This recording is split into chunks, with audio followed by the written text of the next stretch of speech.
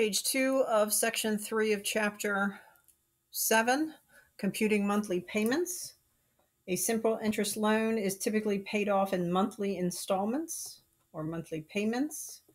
Installments is another word for payments. To compute monthly payments, first find the interest, then the future value.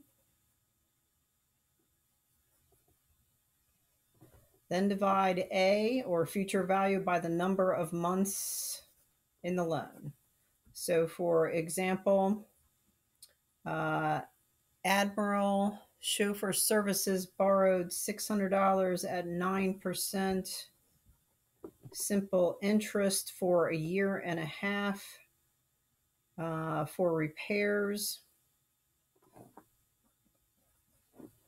Uh, for limousine, find the monthly payments. Simple interest formula I equals PRT principal amount borrowed, rate as a decimal, time in years. Apparently that comes to 181. Um, for the future value, just add that to the principal amount. I plus P is the formula for that.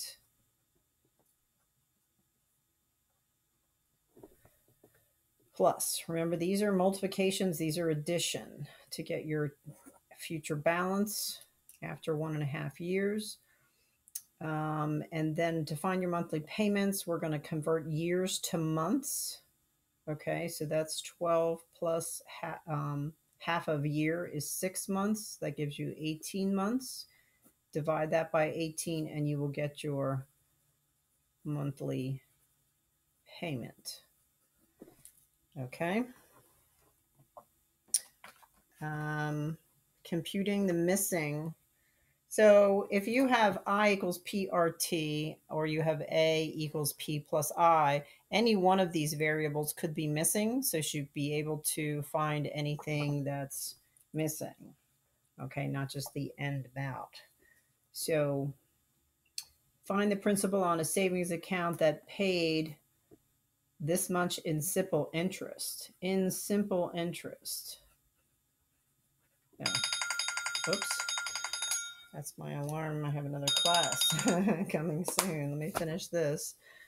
Um, interest, your rate is 6%. Your time is over three years. Find P. So I equals P R T. And what is missing is the principal. So we're leaving that variable here, substituting the other ones.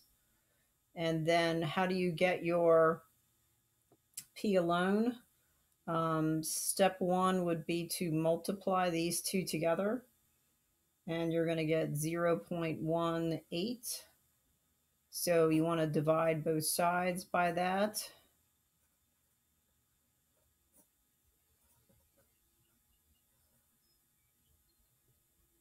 if you can read that. There we go. 7650 divided by 0.18. Apparently that is 425. Let me know if any of these are wrong. That's the principal that was put in the account that paid this much interest at this rate in this many years. Okay. This one, it says if you invest, here's your principal for 30 months, um, 30 months needs to be converted to how many years? Um, you can divide by 12 if you want. Think about it. 36 would be three years. Um, if you do 12 into 30, you get two years, which is 24. With six left over, come down, you get 0.5. That's minus 60 is zero, so 2.5 years. Um, you will get 30 divided by 2. You will get a decimal, 2.5. So you feel free to just divide by 12 and use whatever decimal you get. Um, let's see. Receives $1,000 in interest. So just put that interest right in here. Principal, time, and we're looking for the what rate they got. That's a common thing to do. So how do we do this? We multiply these two things together. Just checking my answer here. Times 2.5 is 20,000 R. 1,000 divide both sides by what you're trying to get R alone with. And let's see. Sorry.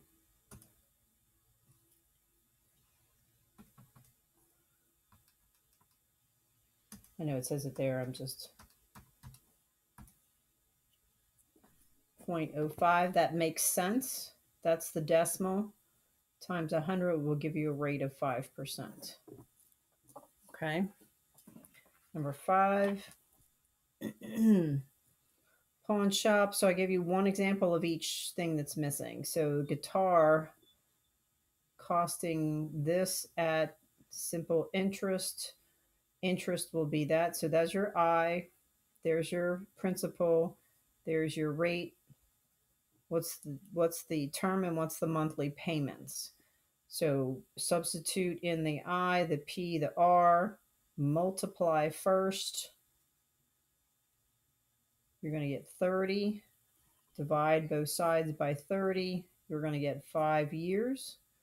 And at five years times 12 will give you 60 months to pay it off. Okay. So if the interest was 150, we can add that to the cost to get the total cost of the financed guitar. Okay, and if you divide it by 60, you'll get the number of payments per month for five years.